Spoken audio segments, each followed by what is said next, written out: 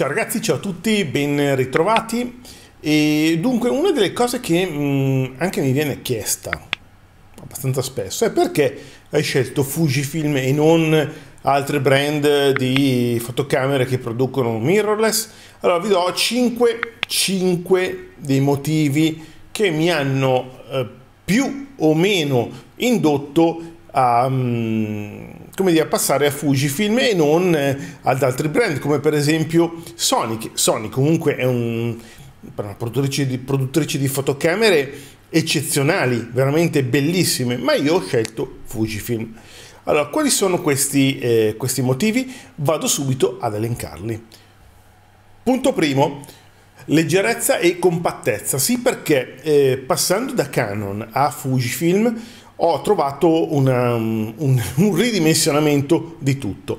Se con Canon andavo in giro con quasi due zaini con di attrezzatura, eh, parliamo solo di eh, fotocamera e obiettivi e filtri, non ehm, cose particolari, con Fujifilm mi sono ritrovato solo con uno zaino con tutto ridotto, comprese le imbragature, comprese eh, le batterie, compreso lo scatto, compreso i treppiedi, i mini treppiedi, è tutto ridotto e pesano veramente molto molto meno. Gli obiettivi pesano molto meno, gli obiettivi ovviamente essendo Fujifilm PSC sono anche ridotti nelle dimensioni, quindi è tutto più compatto. Quando dovevo passare, ehm, quando ho voluto prendere in considerazione il passaggio da reflex a eh, mirrorless, avevo preso in considerazione anche eh, Sony, però guardando le dimensioni Sony alla fine è un po' più compatta come corpi macchina, però la realtà è che le lenti sono comunque gigantesche.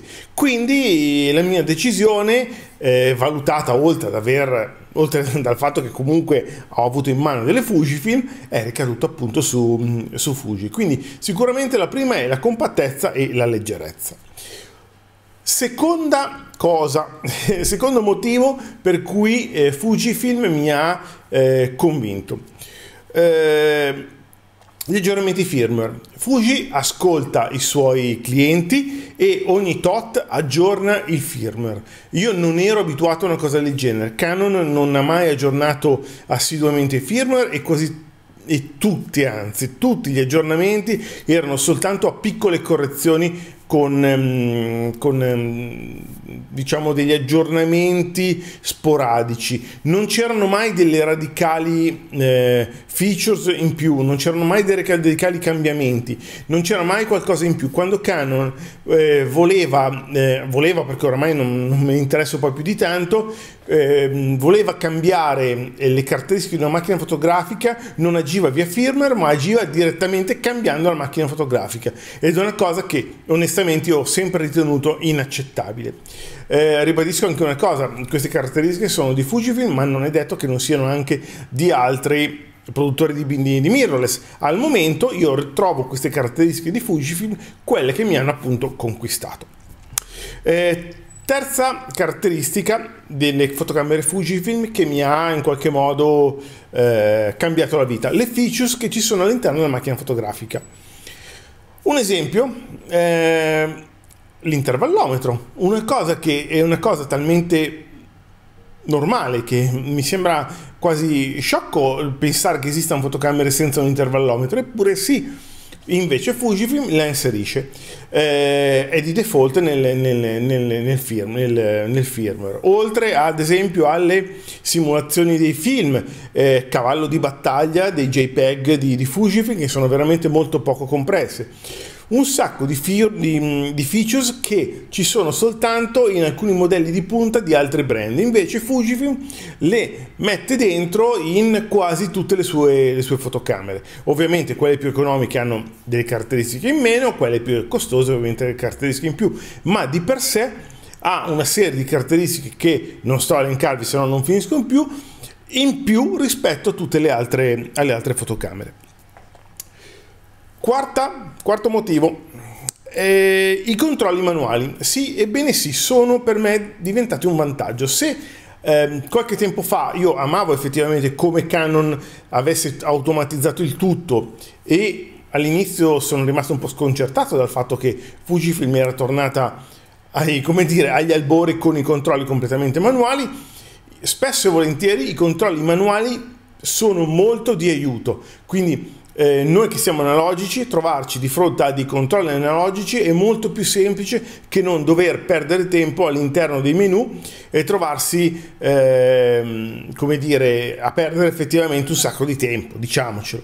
Inoltre Fujifilm ha una configurabilità delle, mm, dei pulsanti e delle ghiere che assolutamente non ha uguali. Ehm, ultima caratteristica che potrebbe essere una stupidata, potrebbe sembrare una stupidata, in realtà non è così tanto una, una sciocchezza. Le batterie. Le batterie effettivamente delle mirrorless purtroppo chi più chi meno non durano molto perché comunque c'è da alimentare sempre il sensore. Quindi, ahimè, eh, le batterie non sono una, una feature che mi interessa di, di Fujifilm per la durata, ma semplicemente per il prezzo. Le batterie originali costano relativamente meno rispetto a tutte le altre batterie. Ma il bello cos'è? Che le batterie di Fujifilm non sono come quelle di altri brand con la codifica, il chip all'interno, per cui se vai a comprare batterie di terze parti ti trovi improvvisamente a, a non avere l'affidabilità e, e la percentuale residua non è esattamente quella. No, quindi se noi andiamo a comprare delle Patona e vi consiglio delle Patona eh, eh, premium o platinum costano infinitamente meno ovviamente del, dell'originale. Vi potete fare una scorta di batterie e portarvele sempre dietro spendendo veramente veramente veramente pochissimo. Vi do un, ehm, come dire, una caratteristica bonus che non è forse da valutare, da sottovalutare, scusate, ma è assolutamente da tenere presente. Il prezzo. Eh, I modelli di punta del, di casa Fujifilm costano infinitamente meno di qualunque altro brand. Probabilmente eh, il brand di eh, mirrorless eh, e, e di ficcare dentro anche reflex a questo punto con i, i, costi, i, costi, più bassi. Un XT3 costa 1400 euro ed è il modello di punta di casa Fuji. Eh, parlando ovviamente di APS-C, se poi invece andiamo sul medio formato, ovviamente il, il discorso cambia. Ma se parliamo semplicemente di APS-C e full frame, ecco, facciamo i confronti con, con queste due tipologie. Quindi queste sono le mie 5 caratteristiche, i miei 5 motivi eh, per cui mi, mi sono in qualche modo affezionato a Fujifilm e spero di andare avanti ancora così per, per molto. Quindi grazie per la visione, vi ricordo come sempre di iscrivervi sotto al canale, attivare la campanella così ricevete le notifiche, condividere anche il video che è importantissimo e, e anche mettere ovviamente un like. E per oggi è tutto, ci vediamo alla prossima.